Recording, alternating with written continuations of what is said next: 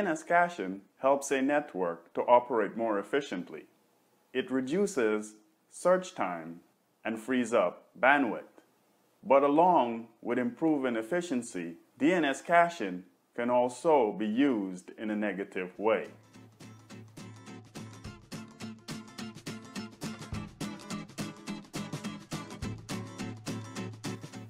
DNS is used by devices for locating the IP addresses of resources on a network.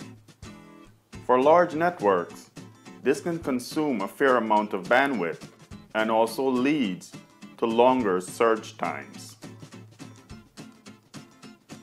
So how does DNS caching helps to fix this issue?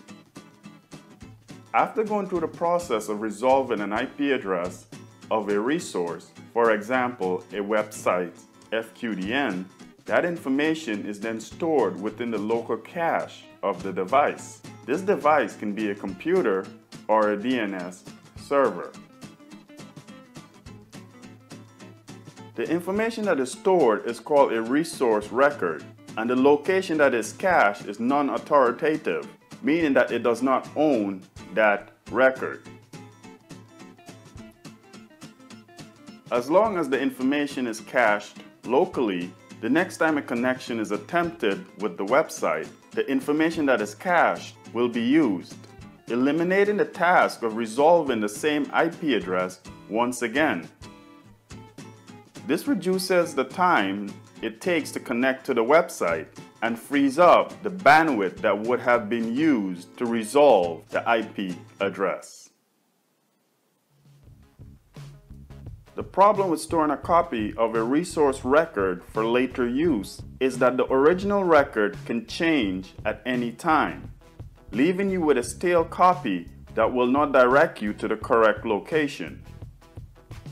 Time to Live, or TTL, helps to fix this issue by placing an expiration date on the resource record. This states how long the information will be valid. The TTL can only be configured at the authoritative DNS server.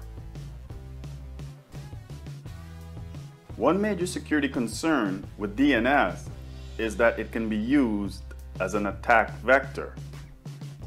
Because DNS directs devices on where to locate resources, it can be used to mislead by distributing incorrect information. When this is done at the DNS cache level, it is called DNS cache poisoning, where bogus information is sent to the local cache, directing devices to counterfeit websites which are attempting to steal personal information. One way to prevent this from happening is to run ipconfig forward slash flush DNS within the command prompt window of the computer you are using. This would clear the local DNS cache and remove any stale or misleading resource record.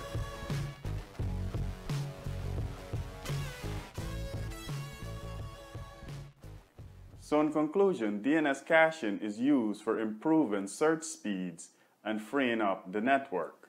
But it does need some oversight, mainly based on the fact that it can be used to direct devices to unwanted locations. That's all for now on DNS caching. Head over to HaimIT for more information.